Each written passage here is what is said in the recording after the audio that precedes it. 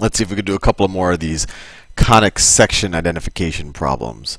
So I have this problem, x squared plus y squared minus 2x plus 4y is equal to 4. And so the first thing I like to do is just try to figure out what type of conic section this will be.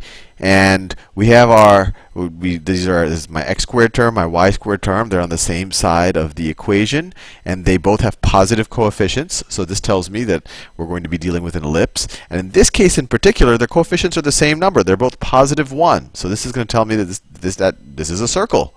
So let's get this into standard form and try to graph this circle. So we're going to want to complete the square.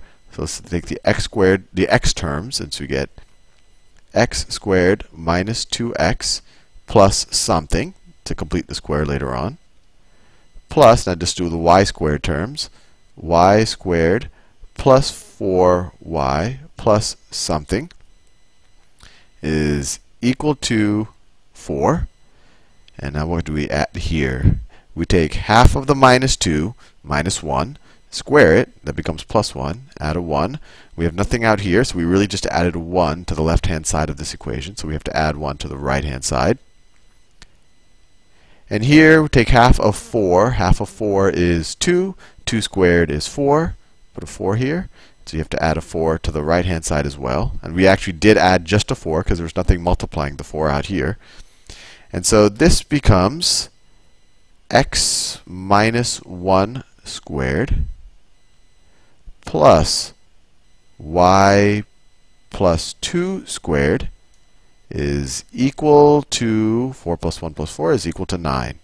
And there you have it. We have it in the standard form of a circle. You remember that uh, if a circle is centered at 0, the standard form would be x squared plus y squared is equal to r squared.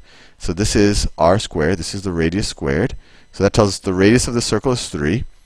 And it was just shifted so that its origin, instead of being at 0, 0, is at the point 1 minus 2. And the reason why we've got 1 minus 2, we just have to think about what makes this whole expression equal 0. In this case, it was the origin. In this case, it's x equal 1, x equal